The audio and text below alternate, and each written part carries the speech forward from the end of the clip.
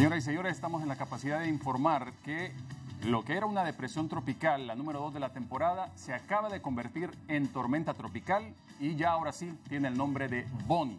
Después de un largo recorrido por el Atlántico, el fenómeno pues ya se encuentra muy cerca, a exactamente 355 kilómetros al este de, Bluefields, de Bluefields, Nicaragua.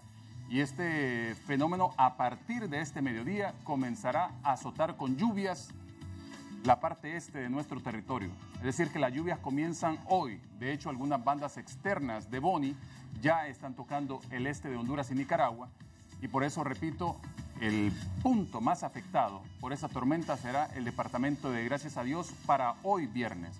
Y gradualmente, hacia horas de la noche, alcanzará parte de Olancho.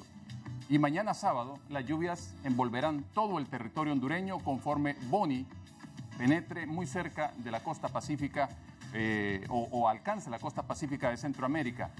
Repito, Boni ingresará a la altura de Bluefields, Nicaragua, muy cerca de la frontera con Costa Rica, y luego tendrá la capacidad de pasar al Océano Pacífico y ahí cambiará de nombre si mantiene la categoría de tormenta. Entonces, en ese movimiento que eh, estamos observando hasta ahora completamente hacia el oeste, Boni se está desplazando a 31 kilómetros por hora pero tiene vientos sostenidos de 65 kilómetros por hora con rachas superiores. Por eso esa imagen que tenemos en pantalla justamente muestra un color eh, morado en su centro y eso es un indicativo que el fenómeno, pues en las paredes cercanas al ojo, tiene vientos superiores a esos 65 kilómetros por hora. Esa es la pista que está siguiendo, la va a mantener.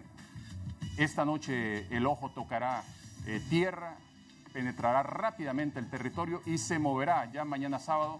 Eh, pues en horas de la tarde estará en el Pacífico y la proyección del centro de huracanes es que mantenga la categoría de tormenta y luego eh, se mueva como huracán bordeando toda la costa pacífica de México. Boni, que tiene el nombre ya ahora en el Atlántico, si logra mantener la categoría como tormenta y pasa al Pacífico, pues pasaría a adquirir otro nombre puede que lo tengamos como Barty o Stell. Esos son los dos posibles nombres. ¿Y por qué? Porque tenemos otro fenómeno que está en formación en el Pacífico. Entonces, cualquiera de ese fenómeno, el que se forme primero, adquiere el nombre que ya está previsto en la lista que se mantiene amplia y que cubre todo el abecedario y que precisamente en los últimos años lo hemos estado rompiendo por la cantidad de tormentas y luego nos vamos al alfabeto griego.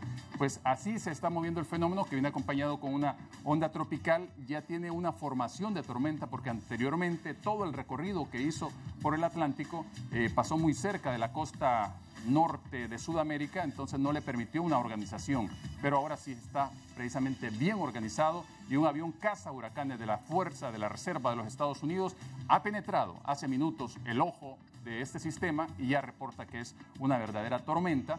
Y ahora pues sí, ya podemos decir que tiene el nombre de Bonnie. Por supuesto que le seguimos la pista y les mantendremos muy informados, pero enviamos la alerta para, gracias a Dios, que comienza con lluvia desde este mediodía y todo el fin de semana. Y ya sabemos que han tenido inundaciones lastimosamente en los días anteriores y esto viene a complicar la situación de dengue, de el COVID que pues ha estado afectando todo ese sector de la mosquitia y las lluvias desde hoy a 72 horas seguro que sí van a tener problemas. Y esta es la imagen que justamente nos presenta para horas de la noche. Gracias a Dios y el departamento de Olancho reciben lluvia cortesía de Boni a partir de esta jornada de viernes y se intensifica en todo el territorio nacional para mañana sábado con una disminución rápida el día domingo. ¿Por qué? Boni lleva prisa y se moverá rápidamente sobre el territorio nicaragüense y sale al Pacífico. Bueno, aquí estamos para informarles, pendientes.